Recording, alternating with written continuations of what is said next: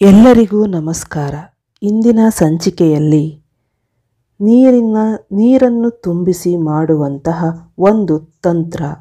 ಈ ತಂತ್ರ ಮಾಡುವುದರಿಂದ ನೀವು ಅಂದುಕೊಂಡಂಥ ಸ್ತ್ರೀ ಅಥವಾ ಪುರುಷ ಅಥವಾ ಮಹಿಳೆ ಅಥವಾ ಯಾರೇ ಆಗಿರ್ಬೋದು ಹುಡುಗ, ಹುಡುಗಿ, ನೀವು ಪ್ರೀತಿಸಬೇಕು ಅಂದ್ಕೊಂಡಿರೋಂಥ ವ್ಯಕ್ತಿ, ಅವರು ನಿಮ್ಮಂತೆ ಆಗುತ್ತಾರೆ.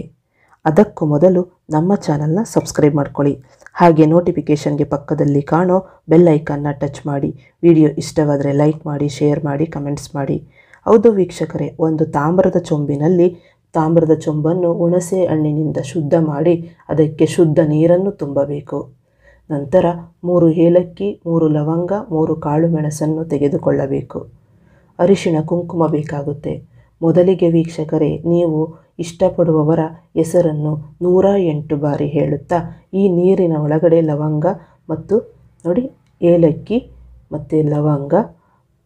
ಹಿಂಗೆ ಈ ರೀತಿಯಾಗಿ ಆ ವ್ಯಕ್ತಿಯ ಹೆಸರನ್ನು ಹೇಳಬೇಕು, ಈ ನೀರಿನಲ್ಲಿ ಆ ಪದಾರ್ಥಗಳನ್ನು ಹಾಕಬೇಕು. ನೂರ ಎಂಟು ಬಾರಿ ಈ ಒಂದು ಆ ಹುಡುಗಿಯ ಹೆಸರನ್ನು ಹೇಳಿ, ನಂತರ ಆ ಹುಡುಗಿ ನಿಮ್ಮಂತೆ ಬರುತ್ತಾರೆ.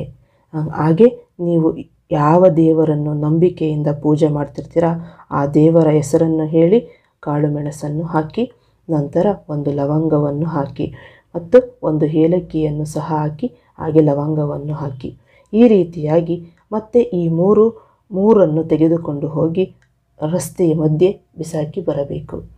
ನಂತರ ಈ ನೀರನ್ನು ಮೂರು ರಸ್ತೆಯ ಮಧ್ಯೆ ಚೆಲ್ಲಿ ಹಿಂತಿರುಗಿ ನೋಡದೆ ಬರಬೇಕು. ಹೀಗೆ ಮಾಡುವುದರಿಂದ ನೀವು ಅಂದುಕೊಂಡಂಥ ವ್ಯಕ್ತಿ ನಿಮ್ಮಂತೆ ಆಗುತ್ತಾರೆ. ಇದರ ಬಗ್ಗೆ ಮಾಹಿತಿ ಬೇಕಾದಲ್ಲಿ ಕಾಲ್ ಮಾಡಿ ಪರಿಹಾರವನ್ನು ಕಂಡುಕೊಳ್ಳಿ. ಧನ್ಯವಾದಗಳು.